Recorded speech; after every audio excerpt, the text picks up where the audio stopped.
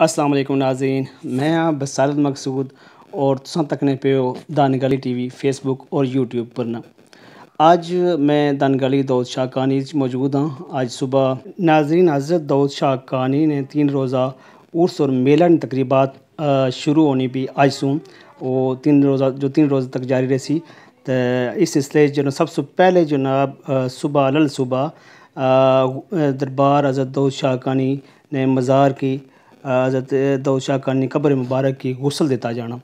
सबसे पहले गसल दिता जाना, उस तो बाद बाकायदा दीगर तकरीबात ना, जो रवायती साढ़े खेल है, कबड्डी हो गया, बैल दौड़ हो गया, नेज़ाबाजी हो गया, ये चीज़ा फिर बाद इन चीज़ा ना इनका जाना और सुन तक बड़ा इवेंट होना। एक त्यौहार आ और इसने मजहबी भी है और साड़ा रवायत और कल्चर इस तरीके ये मनाया जाना। सो देखने हो कि फिर इलाके च बहुत बड़ी तादाद होनी इस सारे मेले की तकने वास्ते। एक तो अकीदत रखने लोग बाबा आज़द दौशा कानी नाल दूसरा उनकी मेले बिच एंटरटेनमेंट भी मिलने खेल और चुगल देखने ना मौका भी मिलना इन्हें की कबर मुबारक की गसल दिता जाना पाया सौ तकने पे तो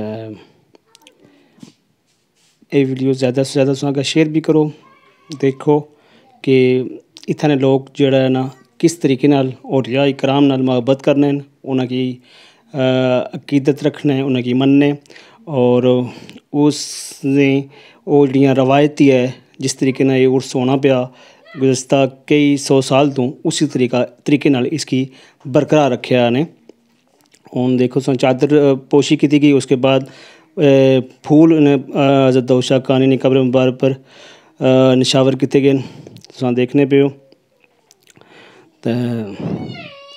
इलाके देखा कि अलल सुबह कितने लोग फिर भी मौजूद है। तुम देखने हज़रत शाह कानी ने मज़ार पर ना तमाम मोजीन इलाका भी इस दरबार हज़रत दौद शाह कानी